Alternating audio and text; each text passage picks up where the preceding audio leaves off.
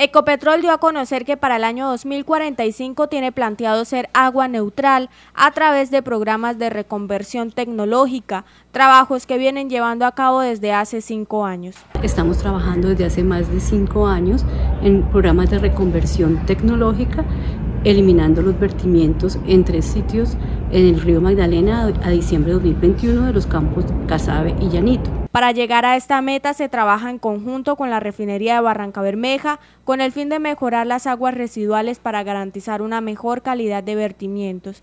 De igual forma, anuncia que a 2023 reutilizará el 94% de sus aguas de producción.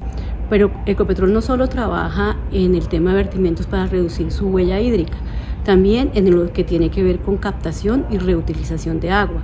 A 2023 vamos a reutilizar el 94% de las aguas de producción. Ese es nuestro gran reto.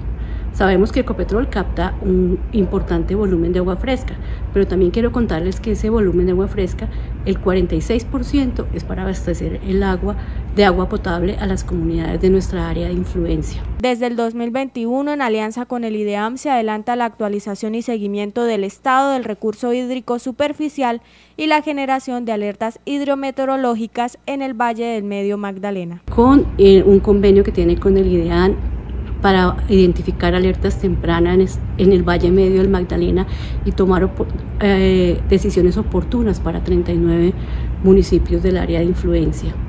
En Ecopetrol nosotros trabajamos por la preservación y la conservación del agua y en el beneficio de todos los colombianos. Ecopetrol lleva a cabo estos proyectos con el fin de reducir su huella hídrica en el Magdalena Medio entre 2022 y 2023.